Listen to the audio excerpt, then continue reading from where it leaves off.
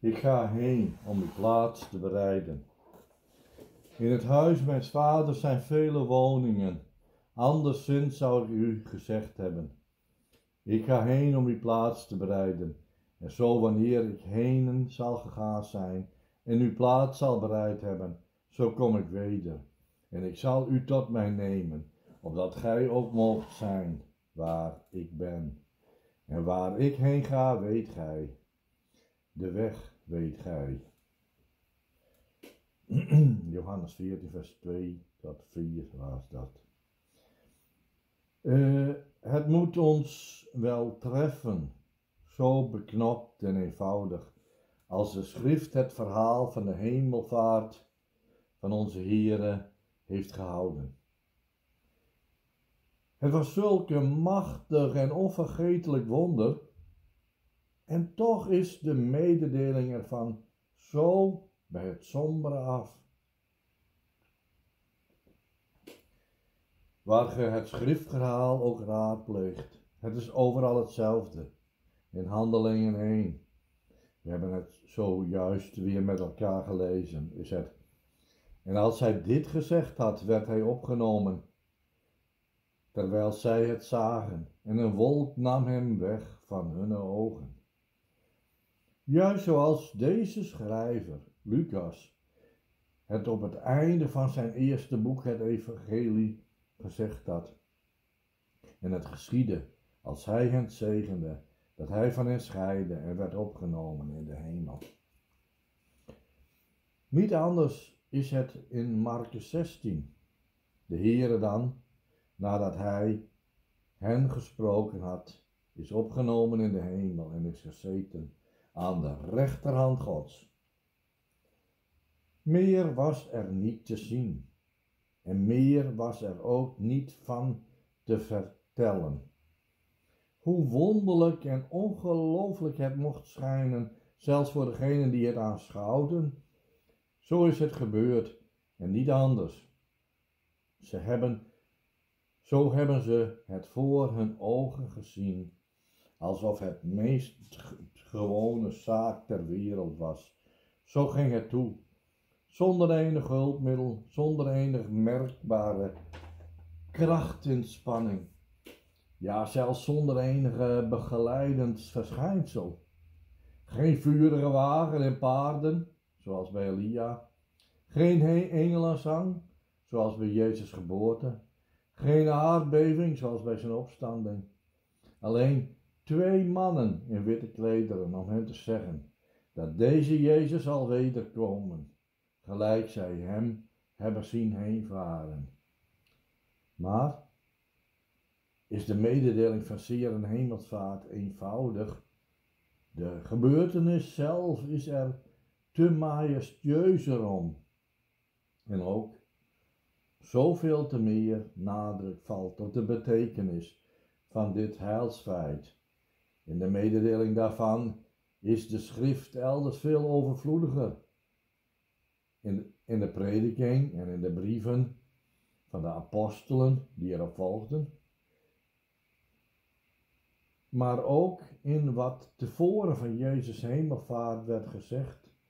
Dat gaat zelfs tot in het Oude Testament terug. Op die betekenis van Jezus hemelvaart komt het aan. Daartoe moeten we doordringen. Wat de verbazing over het wonderlijke van het geval brengt ons niet verder. Jezus zelf heeft van zijn hemelvaart tevoren tot zijn discipelen gesproken. Na zijn opstanding, ook voor zijn dood. Ze waren er dus op voorbereid.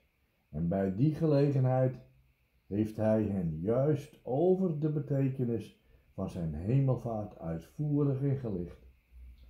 Een van de uitspraken waarin de Heer dat gedaan heeft, ligt hier voor ons opgeslagen. En al hebben de discipelen het niet gelijk begrepen toen de Heer het zeide, later heeft de Heilige Geest na zijn belofte het hen indachtig gemaakt toen het geschied was. Toen hebben zij het begrepen en geloofd. Zo mogen ook wij het weten, tot onze troost en zaligheid. Jezus spreekt hier dus van zijn hemelvaart als zijn heengaan naar het huis zijns vaders. En hij spreekt daarbij één van het huis zijns vaders waar hij heen gaat. Twee van het doel dat hij met zijn heen gaat voor de zijnen beoogt. En van de weg waarin hij dat doel zeker bereidt.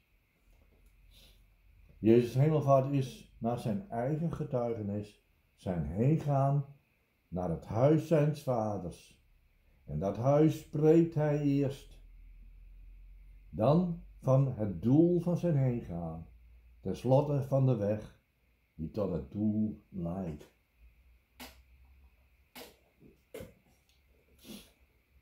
Eerst dan spreekt Jezus van het huis zijns vaders waar hij heen gaat. In het huis mijns vaders zijn vele woningen. Wat is dat een ruim en blij vooruitzicht. Een huis met vele woningen. Een huis dat voor het grootste gezin niet te klein is. Een huis waarin zoveel ruimte is dat men nooit plaats tekort komt. Dat er altijd nog meer bij kunnen, zonder dat men elkaar dringt en zonder dat iemand zich behoeft te behelpen. Wat is het voor menigeen onbereikbaar en daardoor ook niet begeerd, maar toch op zichzelf begeerlijk ideaal. Een huis met vele woningen en dan een vaderhuis. Welk heerlijk en feestelijk denkbeeld op deze feestdag. En dat huis, nee, niet op aarde, dan was het maar voor een tijd een verliesbaar goed, dat we met de dood toch kwijtraken, misschien wel eerder en onverwacht. Maar dit huis met vele woningen is het huis des Vaders in de hemelen. Hoe heft dat onze harten ten hemel op deze dag, die naar Jezus hemelvaart is genoemd? Dat voelen wij terstond, wij allen tot zelfs onze kinderen toe, zij met hun ontvankelijk gemoed misschien nog sterker dan wij. Er ligt ook, en dat voelt u, troost in die woorden en wat ze ons voorstellen. Niet alleen voor de armen en behoeftigen, die niet op de aarde, maar op de hemel hebben leren hopen en voor wie daar ook alle sociale bedruktheid veranderd is in een ruim en rijk erfdeel. Maar meer nog een troost als we zien op zoveel lege plaatsen rondom ons, die niet, meer, niet weer vervuld worden. Troost ook voor wie denkt aan een wellicht meer dan één ledige plaats in eigen huis en leven. Want daarboven wordt nooit een plaats leeg. Troost ook, als gij denkt aan wat eens voor u op aarde het vaderhuis was, maar nu niet meer bestaat. Het vaderhuis daarboven zijn vele woningen. En dat vaderhuis blijft eeuwig bestaan. Zo ligt er velelei troost in het denken aan het vaderhuis daarboven. Gelijk er in het denken aan de hemel voor de christen altoos troost is, omdat hij, omdat hem daar wacht de volkomen vergoeding van elk gemis, de wegneming van alle smart van dit leven. God zal immers alle tranen van de ogen afwissen.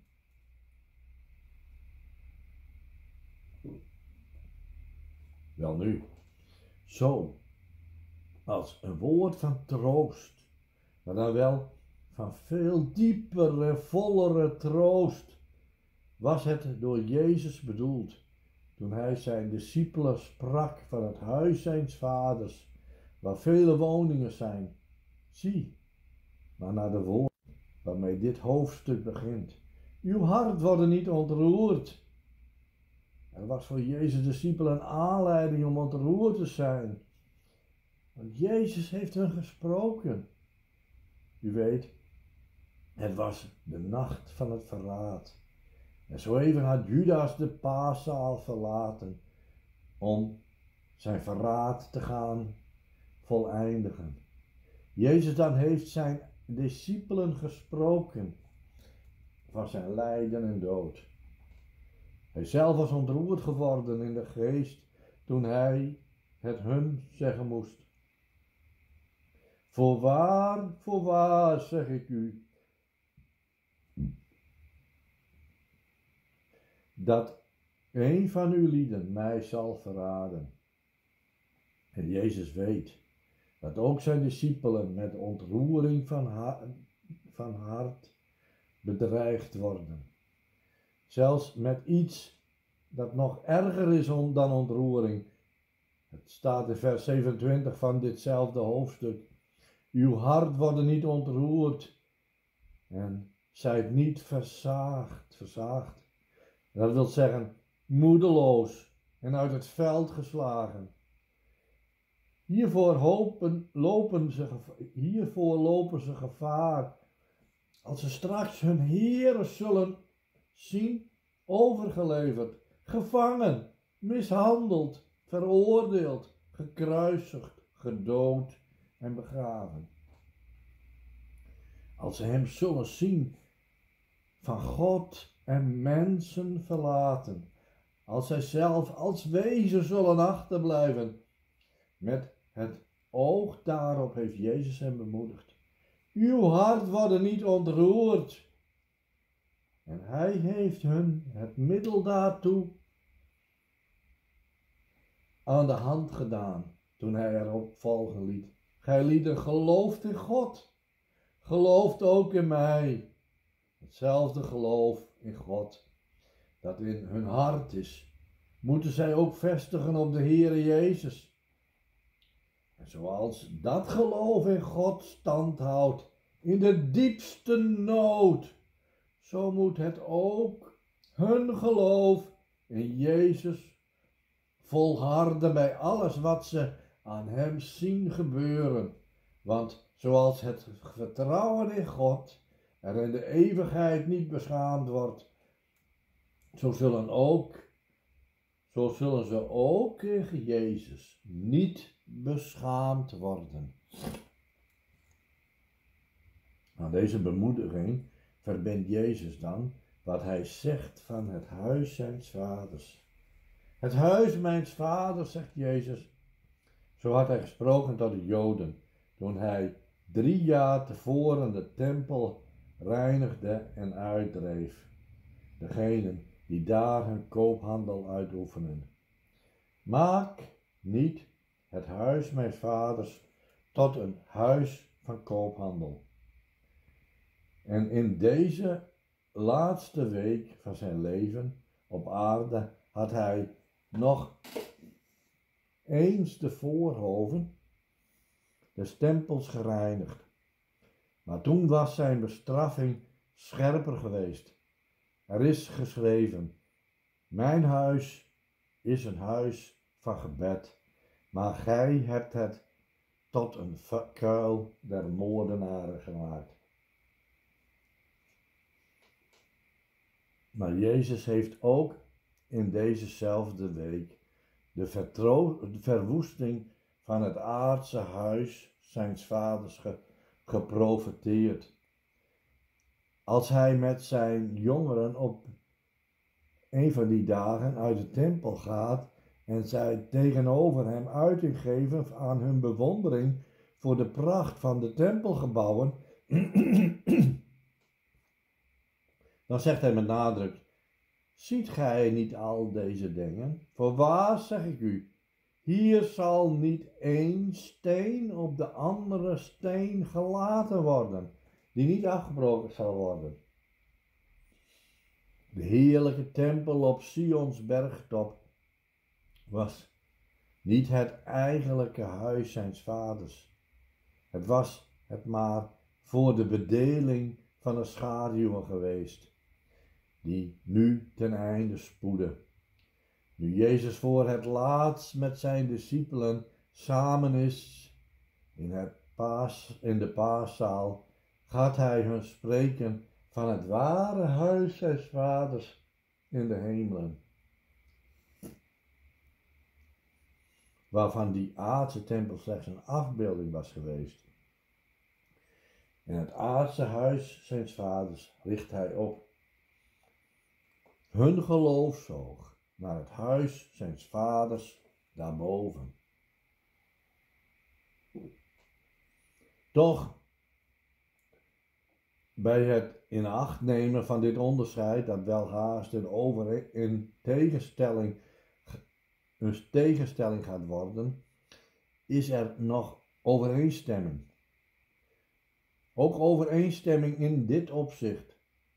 Het huis mijn vaders, dat zijn vele woningen.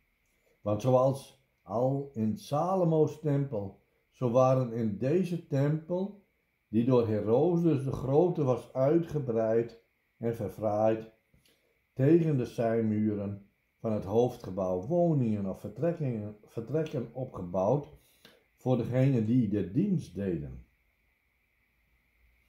Welnu, zo zijn er in het hemelse huis zijns vaders vele woningen, vele verblijven of vertrekken. Gelijk het woord eigenlijk wil zeggen, wat de psalmist altijd zo naar waarheid had gezongen. Wel gelukzalig zijn zij die in uw huis wonen. Zij prijzen u gestadelijk. Dat is eerst volle werkelijkheid voor degenen die in, de hemelse, in het hemelse heiligdom God eeuwig dienen en verheerlijken. Het huis mijns vaders, zo noemt Jezus het, dat hemelse heiligdom. Het is uit dat huis zijns vaders gekomen. Hij is uit het huis van zijn vader gekomen. Hij heeft het als de enige geboren zoon des vaders een onvervreemdbaar en onverliesbaar recht op dat huis, om er eeuwig te wonen. Hij is er thuis en hij kent het, want het is zijn eigen huis, omdat hij de zoon is. Hij is vandaar uitgegaan om hier op aarde te doen het werk dat hem van de Vader te doen gegeven was. En nu keert hij naar het Vaderhuis terug.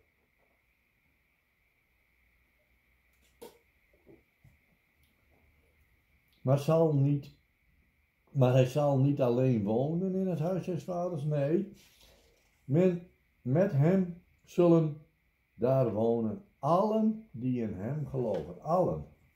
Voor wie hij door zijn lijden en dood gaat verwerven het kindschap Gods, het burgerrecht in het koninkrijk zijns vaders, het kinderrecht in het huis zijns vaders, opdat zij als zijne broederen daar eeuwig met hem, de enige geboren zoon, bij zijn vader in hunne vader mogen wonen. In het huis mijns vaders zijn vele woningen. Het is er geheel en al ingericht om velen te huisvesten, een schare die niemand tellen kan. En hij wil dat zijn huis vol worden. Om deze blijde en vertroostende zekerheid nog krachtiger op het hart zijner discipelen en daarmee ook op onze harten te binden, voegt hij eraan toe: Anderszins zou ik u het gezegd hebben. Anderszins dus, als het niet zo was, als het huis mijns vaders alleen het mijne en niet het uwe waren, zo zou ik het u gezegd hebben. In zekere opzicht had Jezus zijn discipelen niets nieuws geopenbaard met, het, met te zeggen dat er vele woningen zijn in het huis zijns vaders. Ze konden dat weten uit de schriften, ze konden het weten uit onderscheiden gelijkenissen die de Heere van de Heere, die het eeuwige leven en de zaligheid voorstellen onder het beeld van het koninklijk bruiloftsmaal of van het koninkrijk der hemelen, spraken onder het beeld van het huis van, de, van een heer des huizes. Ze konden het ook afleiden uit het aardse beeld dat de tempel hun van het vaderhuis toonde.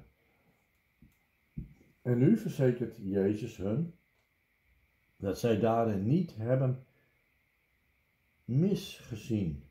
Anders zou hij het hun gezegd hebben. Want hij is de waarheid zelf. Hij is niet voor sommigen hem, waarvoor sommigen hem willen laten doorgaan, een wijze die zich aanpast bij allerlei waandenkbeelden van mensen van de tijd. Dat blijkt nu wel. Uit dit anderszins zou ik het u gezegd hebben. Jezus bevestigt hiermee wat zij weten, kunnen weten althans.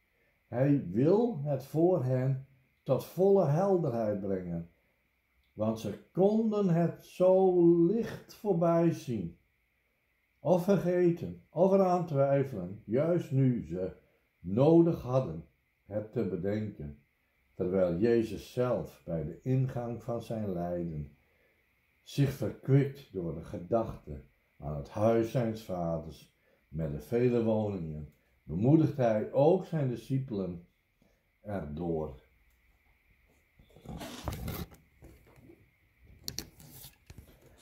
Jezus liet ook ons dit woord na. En hoezeer hebben wij dit woord nodig? Wij zijn maar al te vaak en al te veel zo in de aardse dingen dat wij aan de hemelse niet denken. Als wij het in ons eigen aardse huis goed hebben, dan bekoort ons het vaderhuis met zijn vele woningen zo weinig. Dit heeft dan ten gevolge dat in allerlei leed en druk en droefenis de gedachte aan de hemelse vaderhuis ons zo weinig troost. Wij zijn er niet mee vertrouwd, het staat te ver van ons af. Het is te vreemd om, aan ons innerlijk leven.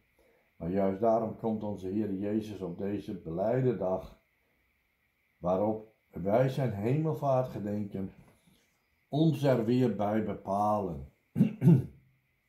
en dan ook dit. Wij hebben van Gods genade vaak zulk een enge bevatting. Alsof het bijna onmogelijk was in het vaderhuis daarboven een plaats te verlangen. En ja, dat, het is een groot wonder als een van ons er komen zal. O met de daad, de poort is eng en de weg is nauw die ten leven leidt. En weinigen zijn er die die vinden. Maar het, dat wonder gebeurt dan toch door Gods ontferming. En die enge poort en die nauwe weg ze worden toch gevonden.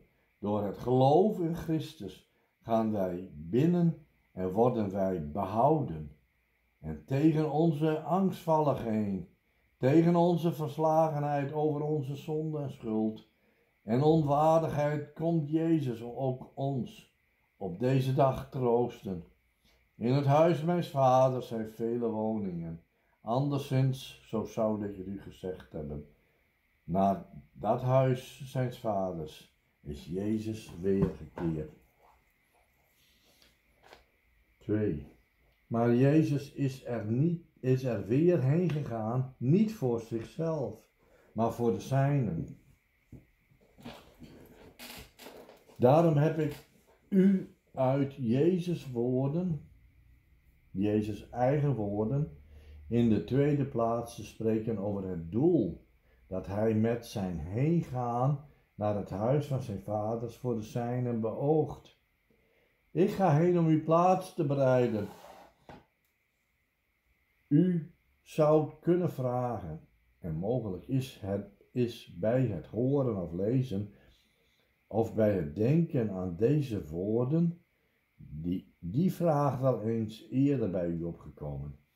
Indien er vele woningen of verblijven in het huis des vaders zijn, waar moet Jezus dan nog heen gaan om die plaats te bereiden? Want, let wel, hij zegt niet dat hij ons bereiden zal tot het innemen van een van die woningen. Dat zouden wij terstond begrijpen. Want hoe ongeschikt zijn wij nog voor de hemel? Zometeen komen we er nog wel op terug, maar Jezus zegt: Ik ga heen om uw plaats te bereiden. En hij laat er zelfs op volgen. En wanneer ik die zal, en wanneer ik zal heen gegaan zijn en uw plaats zal bereid hebben, zo kom ik weder en zal u tot mij nemen, opdat gij ook moogt zijn waar ik ben. Dat plaatsbereiden vordert dus een tijd. Het blijkt een groot werk te zijn dat Jezus in het Vaderhuis voor de zijnen doet. Nu kan dit plaatsbereiden niet zo begrepen worden alsof het Vaderhuis geen plaats genoeg zou bieden, alsof het zou moeten vergroot worden, alsof dus God de Vader zijn huis er niet op had ingericht, alsof Jezus nu de Vader tot andere gedachten zou gaan brengen. Zo ligt het niet. Jezus heeft dit uitdrukkelijk ontkend door de woorden. Anderszins zou ik het u gezegd hebben. En heeft hij niet elders geprofiteerd, hoe in de dag des gerichts hij tot zijn gekenden zeggen zal: Komt, gij gezegenden mijn vaders, werft het koninkrijk, het welk u bereid is van de grondlegging der wereld. Als Jezus dus spreekt van plaats bereiden, dan bedoelt hij dat in een andere zin. Het is ook, het is ook niet zo moeilijk te begrijpen hoe Jezus kon zeggen, eerst dat er vele woningen in het huis zijn vader zijn, en daarna toch op weer dat hij heen gaat om, zijn, om de zijnen plaats te bereiden. Het aardse is ook hierin weer een beeld van het hemelse. U behoeft maar eens te denken aan zoveel die deze dagen een nieuwe woning hebben betrokken. Het huis was er, de ruimte was voor het huisgezin. Die was er ook. Tevoren was vastgesteld welke voor het, huis, voor het huisgezin was en welke bestemming elk vertrek in het huis zou gegeven worden. Maar nu moest het huis nog worden ingericht om het te bewonen. Het moest in overeenstemming gebracht worden met uw aanleg, uw behoeften, uw smaak, opdat gij in uw huis u ook thuis zoudt voelen, zoals u het tevoren had gezien. Toen een ander het bewoonde, was het u vreemd, maar nu gij zelf in het huis ingetrokken zijn, zijt, is het uw eigen geworden. Dit kan zelfs zo sterk zijn dat u tot elkaar zegt: Het is alsof we hier altijd al gewoond hebben. Wilt u een ander beeld? Als uw huis groot genoeg is om een afzonderlijk slaapvertrek voor gasten te bestemmen, dan gaat u tegen de komst van een gast dat vertrek voor hem in gereedheid brengen, zodat het hem een aangename verblijfplaats is. En wanneer in een heel groot huis een nieuw, nieuwe huisgenoot zijn intrek neemt, dan wordt een afzonderlijke kamer voor hem ingericht. Nee, zodat hij er zich volkomen op zijn gemak voelt. Al deze voorbeelden kunnen u duidelijk maken hoe er sprake kan zijn van een huis met vele woningen, waarin toch plaats bereid moet worden. Wel nu, dat is Jezus voor u aan het doen. in het huis zijns vaders. Dit was ook nodig. Al is het in het vaderhuis daarboven een plaats bestemd, daarvoor is die plaats nog niet voor u bereid. Er moet nog iets gebeuren, eer u u daar gaat thuis voelen. Er moet tweeërlei gebeuren. Er moet iets gebeuren met uzelf hier beneden. Er moet iets gebeuren met de plaats daarboven. Deze twee zijn wel onderscheiden, maar ze hangen toch met elkaar samen. Op diezelfde wijze als de apostel Paulus in het begin van zijn eerste brief spreekt van een erfenis, die in de hemelen bewaard is voor u, maar daaraan onmiddellijk verbindt dat u in de kracht Gods bewaard wordt tot de zaligheid van die erfenis. Zo moet ook u bereid worden voor uw plaats daarboven, en de plaats daarboven moet bereid worden voor u. Van dit laatste, dat van dit laatste, dat plaats bereiden hierboven, dat Jezus voor u doet, merkt u niets. Juist omdat het gedaan wordt in de hemel. Wel nu, daarom bereidt Jezus u ook u op die plaats voor, opdat u hierin een onderpand zou hebben van dat voor uw onwaarneembare werk, dat Hij in het huis zijns vaders bezig is voor u te doen, en waarbij u toch zo groot belang hebt. Er moet dus iets gebeuren met u. Dat weet u ook zelf wel.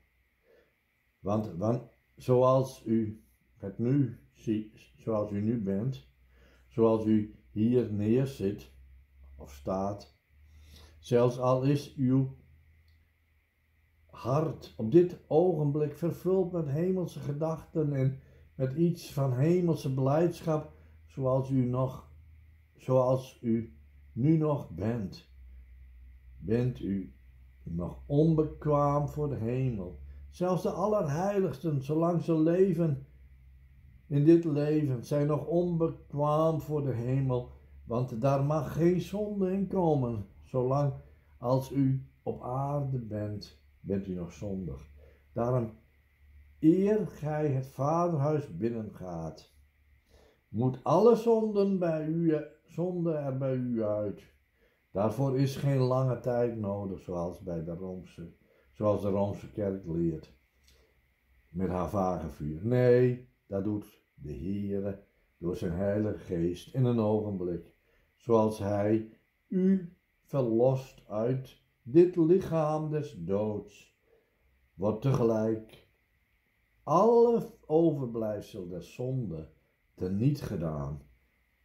Dan is er niets meer van u over, van de eerste in u over van de eerste Adam, maar alleen wat u uit Christus als uw hoofd hebt.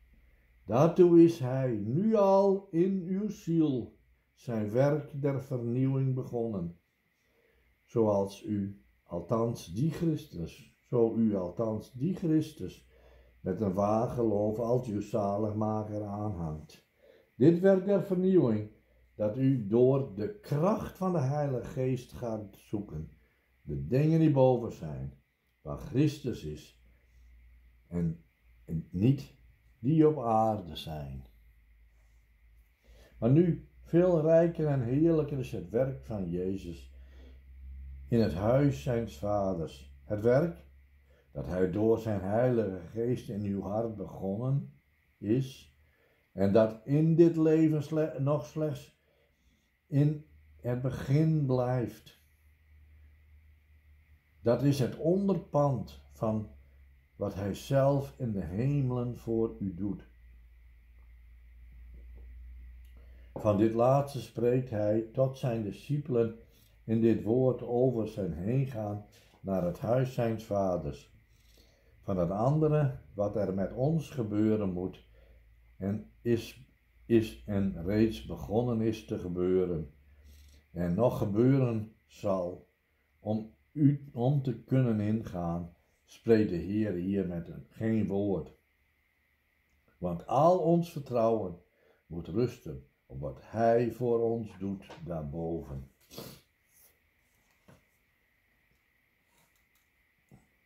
Waarom nu was onze plaats daarboven nog niet bereid toen Jezus dit woord sprak?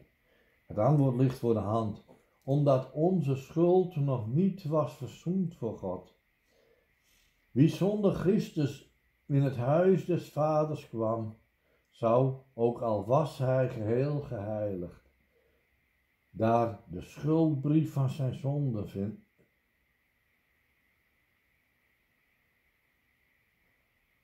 Ook al was hij geheel geheiligd, daar de schuldbrief van zijn zonde zou vinden.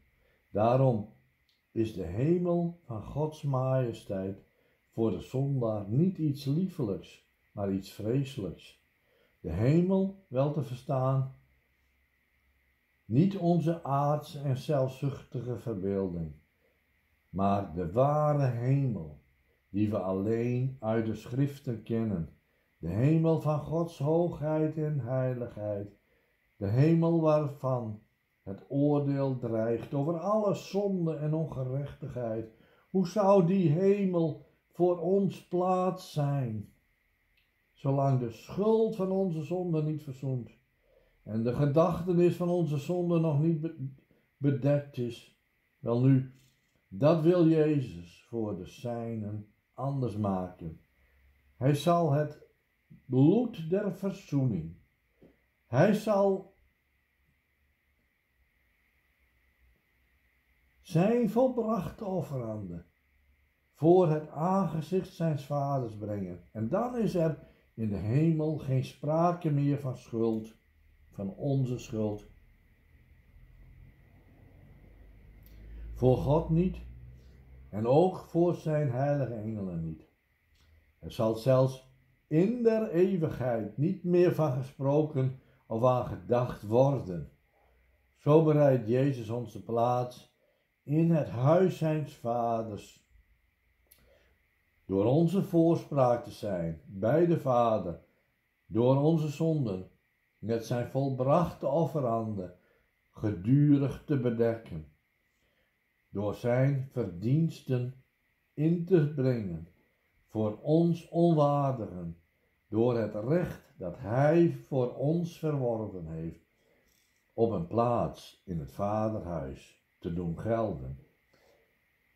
Maar dan is er nog iets anders. Jezus bereidt toegang in het Vaderhuis. Hij bereidt ook voor elk der zijnen zijn eigen plaats. In het huis zijn vaders. Toch zal elk der zijnen ontvangen. Die plaats, die positie, die overeenstemming is met de bijzondere taken, de bijzondere gaven hem van de Vader toebedeeld. Het is daarboven. Niet anders, niet alles hetzelfde voor iedereen, maar de rijkste verscheidenheid. Zoals in het lichaam van zeren gemeente op aarde verscheidenheid der gaven, der krachten, der werkingen is, zo is het ook daarboven. En zoals in een welgeordend aardshuisgezin elk zijn taak en roeping heeft en, en iedere plaats en gelegenheid ontvangt om zijn taak en roeping te vervullen. Zo zal het ook in het Vaderhuis daarboven zijn. Wel nu, dat bereidt Jezus daar voor ons toe. Hij als ons heerlijk hoofd, Hij als onze Heere, maakt daar alles gereed voor onze eeuwige taak. Hij bereidt de plaats voor ons, waar wij eeuwig zullen leven en onze God zullen dienen. Meer weten wij daar niet van. Het mogen ons genoeg zijn dat wij dit weten, dat Jezus daar alles voor ons gereed maakt. Gelijk Hij weet dat voor ons nodig zal zijn. En als Hij dan dit zijn werk voor de zijnen voltooid heeft. Dan komt hij weder, zo zegt hij. Zo wanneer ik heen zal gegaan zijn en uw plaats bereid zal hebben, zo kom ik weder en zal u tot mij nemen, opdat gij ook mocht zijn waar ik ben. Dan zullen ze allen eeuwig met hem zijn in het huis zijns vaders, elk in zijn taak. Dit werk van Jezus gaat door de eeuwen, gaat de eeuwen door, terwijl hier op aarde de geslachten elkander opvolgen en ze elk op hun tijd ingaan in de zaligheid. Bij Christus hun hoofd gaat hij voort voor heel zijn gemeente de plaats te bereiden, waar ze na de jongste dag met zaligheid ook de heerlijkheid zullen ontvangen. Dat is het heerlijk einddoel waarvoor Jezus is heen gegaan naar het huis zijns vaders. Iets daarvan heeft de Heilige Geest aan het volk van de oude dag doen grijpen en doen uitzingen in zijn lied. Ook ons dit lied op de lippen nemen van het 68e psalm, het negende vers. Gods wagens boven luchtig zwerk zijn tienmaal, tienmaal duizend sterk, verdubbeld in getallen. Bij hen is zijn majesteit, een Sinaï in heiligheid, omringd van bliksemstralen. Gij voert ter hemel op vol eer, de kerker werd uw buit, o Heer. Gij zaagt uw strijd bekronen, met gaven tot der mensen troost, opdat zelfs wederhorig kroost altijd bij u zal wonen. Opdat zelfs het wederhorig kroost altijd bij u zal wonen. Is dat niet wonderlijk? Bijna te wonderlijk dat ongehoorzame kinderen in het vaderhuis ingaan. U zou het kunnen, het kunnen geloven. Al is hier op aarde geen van hen zonder zonde. Maar dat ook voor wederhorigen, ongehoorzamen, tegenstrevende een plaats in het vaderhuis bereid wordt. Nee, daar kunt u niet bij. Maar zo, het is zo. Er zijn velen die daarvan geen weten, geen hinder hebben. Maar als God u in die wederhorigen uzelf heeft doen herkennen, dan benauwen u vele zonden, uw overtredingen en uw ongehoorzaamheden. En dat is het wat u zo kan beangstigen, zelfs als u denkt aan dat lieflijk, heerlijk vaderhuis met zijn vele woningen, zelfs op deze dag. Ach, zo denkt u dan. Dat is wel voor anderen, maar zou het ook voor mij kunnen zijn? Maar juist daarom ben ik zo blij en moogt u ook blijde zijn dat er nog een boodschap bij u is van Jezus zelf, want ik moet u uit zijn naam ten laatste nog spreken van de weg die Jezus is ingegaan om dat doel te bereiken, te bereiken voor al de zijnen, voor ieder van de zijnen, geen uitgezonderd. Ook voor u, wien dat vaderhuis zo onbereikbaar schijnt. En waar moet ik heen gaan? U weet en u weet de weg.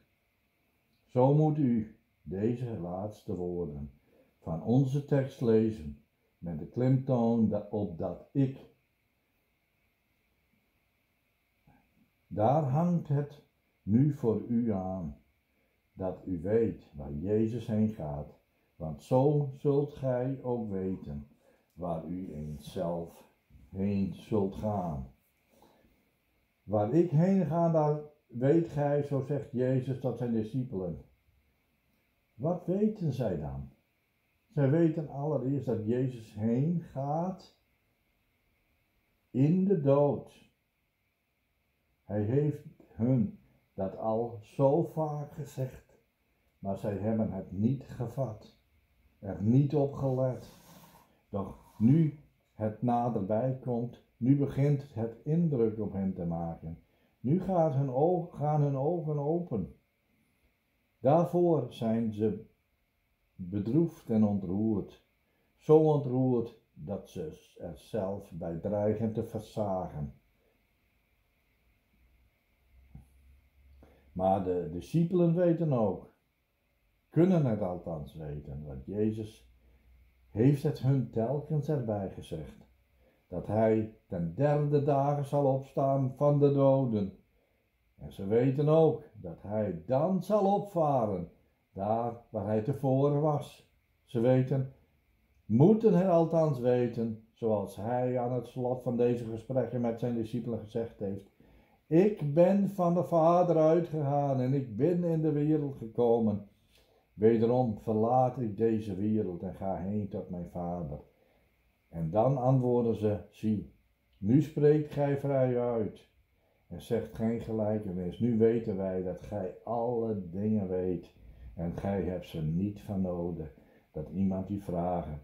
Hierom geloven wij dat gij van God uitgegaan zijt. Waar ik heen ga, weet gij, de weg weet gij. Maar Jezus heeft dan ook al gezegd, gij zult mij zoeken, gelijk en gelijk ik de Joden gezegd heb, waar ik heen ga, kunt gij lieden niet komen. Also zeg ik u lieden nu ook. En als dan Simon Peter zegt, Heer, waar gaat gij heen? Dan is Jezus antwoord, waar ik heen ga, kunt gij mij nu niet volgen maar gij zult mij namaals volgen. Maar dan moet Jezus eerst de weg voor hun, hun banen, door eigen dood en opstanding. Dan zullen zij hem volgen. En dit is nu het woord vol troost voor elk arm en schuldig zondaar die in Jezus gelooft als zaligmaker, die niets heeft om te, op te vertrouwen niets om op te hopen, die niets tot zijn toevlucht heeft dan Jezus alleen. Want hoor het nu, Jezus gaat naar het huis zijns vaders in de weg van lijden en dood. Hij gaat die weg alleen, plaatsbekledend, en daarom kan niemand hen op die weg vergezellen. Hij gaat die weg voor u, om zijn ziel, zijn leven, zichzelf te geven tot een rantsoen, een losprijs voor uw zonden. Hij gaat die weg des doods ten einde toe, totdat hij de diepte van de eeuwige dood heeft bereikt. Maar dan kan het ook niet verder. Dan neemt die weg waarin hij kwam, tot het verlaten zijn van zijn God, een wending. Dan moet die weg weer naar boven voeren dan staat hij ten derde dagen op uit de doden. En op de veertigste dag na zijn opstanding vaart hij ten hemel. Dan vaart hij ten hemel, niet maar als de zonen Gods, maar als de middelaar, als de borg die voor onze zonden heeft betaald. Alles heeft betaald. Niets is er in de straf voor de zonde. Niets is er in de straf voor de zonde dat hij niet geleden heeft. En nu gaat hij met de volle lustprijs in het huis, zijn, het huis zijns vaders binnen, om daar de toelating voor ons te bedingen. Nee, wij behoeven nu niet te vragen, evenmin als Thomas, heren, wij weten niet waar hij heen gaat. En hoe zullen wij de weg weten? Maar we mogen toch dankbaar zijn dat die vraag gedaan is, om der wille van het antwoord dat Jezus erop gaf. Ik ben de weg, de waarheid en het leven. Niemand komt tot de Vader dan door mij. Jezus wijst niet maar de weg tot God, maar hij baant die weg. Ja, hij is zelf de weg tot God de Vader. en het huis zijns vaders. Het is in de waarheid. Wie in hem gelooft, die komt tot de Vader, waar Jezus ook gekomen is. En hij is ons geworden tot het leven, het leven uit de dood. Met dat gij in Jezus gelooft, komt gij ook tot de Vader. Hebt gij de waarheid van uw behoudenis. Zijt gij in de uit de dood overgegaan in het leven. Dat is de weg die Jezus gegaan is, naar het huis zijns vaders, om ons plaats te bereiden. De weg waarin hij zijn doel met volkomen zekerheid bereidt, zodat hij niet kan falen. Het was niet de weg van Elia, die in een onweder ten hemel werd opgenomen, maar wiens hemelvaart was alleen voor hemzelf een bevrijding. Hij kon zijn volk niet verlossen. Het was niet de weg van de arme Lazarus die door de engelen gedragen werd naar Abrahams schoot, maar die niets meer kon doen aan wie op aarde waren achtergebleven. Maar het was de weg der verzoening, door dood en opstanding heen. Zo verstaan wij ook dit woord zeer wel. Waar ik heen ga, weet gij de weg, de weg weet gij. Dat is het blijde van Jezus hemelvaart. Zo is het. Zo blij dat u het zou kunnen uitroepen van blijdschap. Als u het weer indenkt hoe Jezus voor ogen van zijn jongeren op de aarde ten hemel is opgeheven. Want dan ziet u het als voor uw ogen, hoe de weg ten hemel ook voor u open gaat. Dan ziet u de poorten van het vaderhuis ook voor u ontsloten. Want Jezus laat zich niet van de zijnen scheiden. Waar hij is, daar zullen ook zij zijn. En niets kan ons scheiden van de liefde van Christus. Hij ging ons voor en hij nam ons met zich mee in zijn hart. En hij doet ons eens achter hem ingaan in het vaderhuis. En dan is het dat vaderhuis ons niet meer vreemd.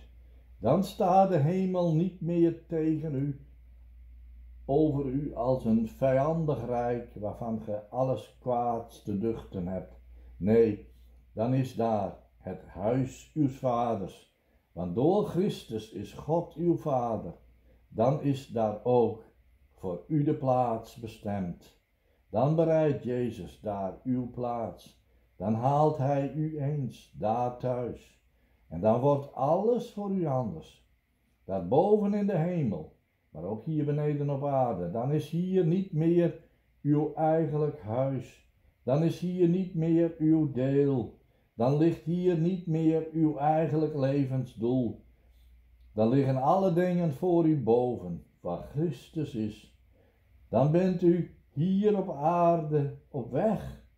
Niet op weg naar de eeuwigheid, want dat zijn we allen. Maar in die eeuwigheid is tweeërlei. En welke van die twee het voor u zal zijn, hangt er vanaf welke weg u bewandelt.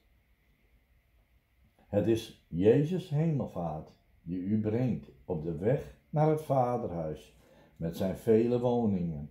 Maar dan moet het iets meer en iets anders zijn dan een opwelling van een ogenblik. Dan moet Jezus hemelvaart een plaats hebben in uw hart en leven.